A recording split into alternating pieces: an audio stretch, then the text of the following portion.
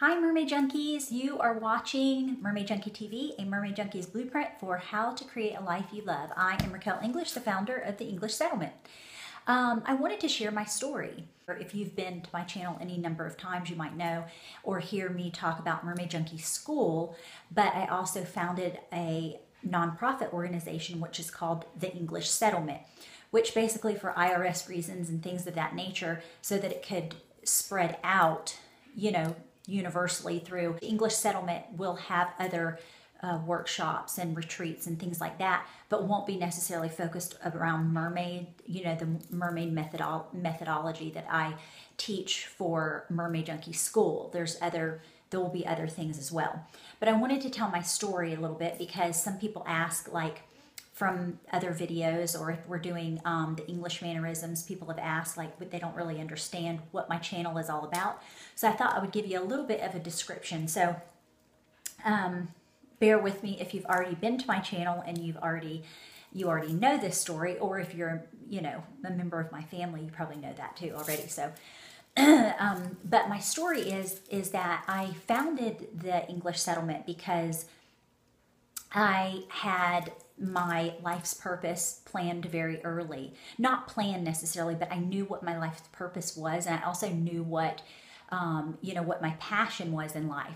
What every 19 year old would do at a time like that when I received that inspiration, and that's what I like to call it inspiration, that it kind of freaked me out because if, I don't know, it, the reason it freaked me out is because if you've ever had that experience where you know that there's something that you're supposed to do and that you are meant to do, but it seems like a massive undertaking to do and like a huge responsibility that it's almost kind of like burdensome in a way.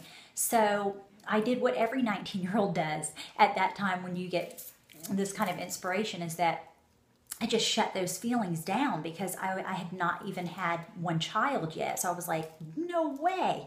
And plus, the way that the vision was for me and the way that I knew what I was supposed to do was was more prefaced in a a way of me being a teacher. And I was like, I don't want to be a teacher because, I mean, at that time, being 19, I was thinking, oh, I'm supposed to go to school and, you know, get a job as a school teacher and, and that kind of thing. And I was just like, ugh, it sounds terrible. I know that's horrible, you guys, but I just am really not, like, I love and I am always drawn to learning and, and you and that kind of thing. But I got to tell you, I mean, to sit in a classroom, I don't know if it's because I'm ADD or what it is, but I'm very artistic, so I have to be moving around. I like to use my hands a lot when I'm creating and and things like that. And you know, in classrooms, most of the time, it's not a hands-on thing unless you're taking like an art class or something. Anyway. So, mind you, I shut those feelings down and just continued. Um, I got married. I um, had children. I had four kids and continued just to raise my kids and stuff. And I would do little things here and there. Um, but I always really knew in the back of my mind what I was supposed to do, but in a really super dysfunctional household.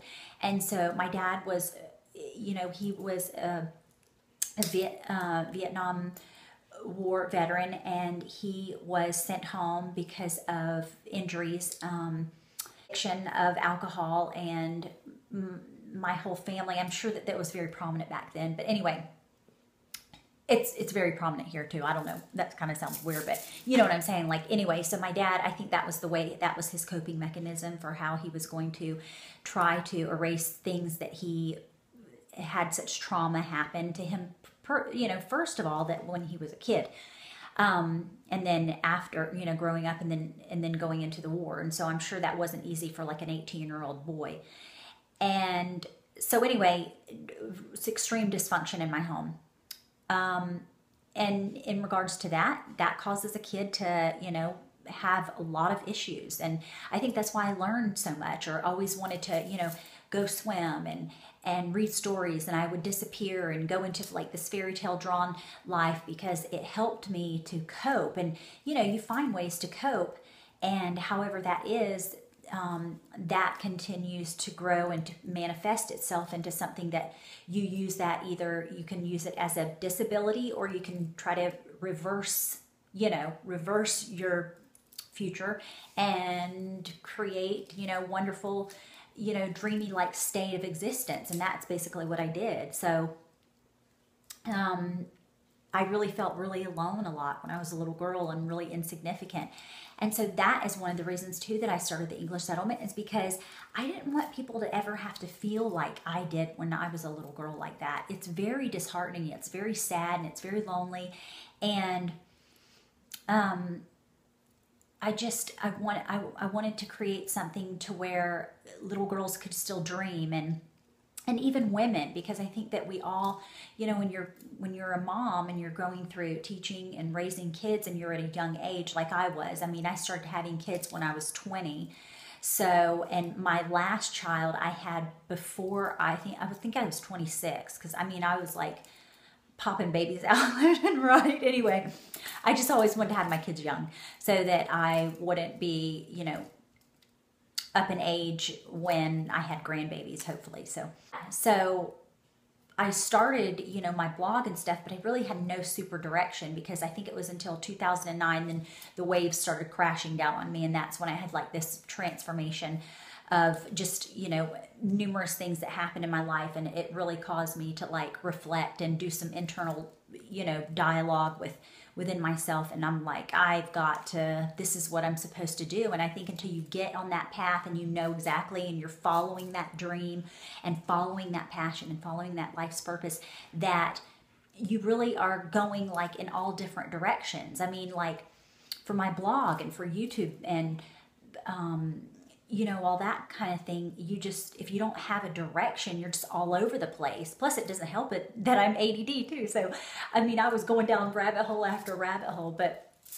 so, anyway, I think that in September, October, that's kind of when I knew exactly what I was supposed to be doing. And that's when I started my YouTube channel. So, that is my story. Um, I worked as a mermaid when I was I think 17, I got my first job as a professional mermaid at a place called Weeki Wachee Springs in Florida. And I worked there for years and performed in, you know, um, live shows. And I'll leave the link below too if you've never heard of.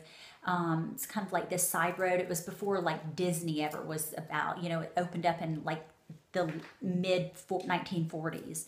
And it used to be like this really cool, I mean, it is still a cool place. I mean, there's no other place like it in the world. It's right at the mouth of a river, and girls put on tails and they swim and perform in these um, underwater synchronized swimming stories underwater.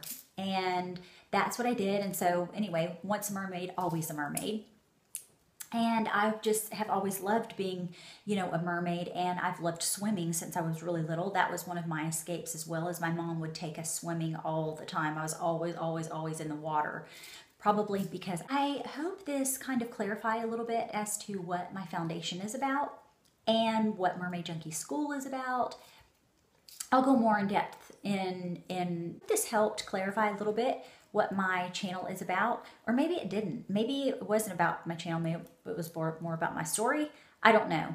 And it looks like it's really super bright in here. Like it really is bright in here. Love it if you would subscribe to my channel.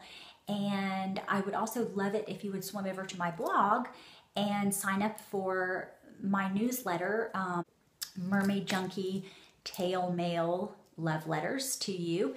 And that will come out pretty much unless there's something that I'm um, marketing or something like that, which isn't very often. This subscription, like you would get my newsletters and stuff about little things that not everybody knows about.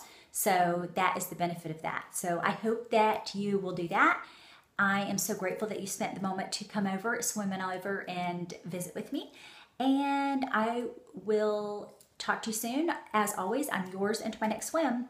Don't forget to subscribe. Ciao.